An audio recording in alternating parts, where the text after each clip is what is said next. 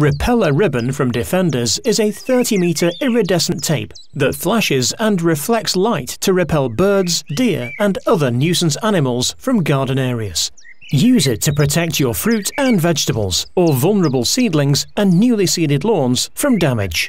Repeller ribbon is supplied in an easy to use dispenser box. Simply feed the ribbon through and cut to length as required.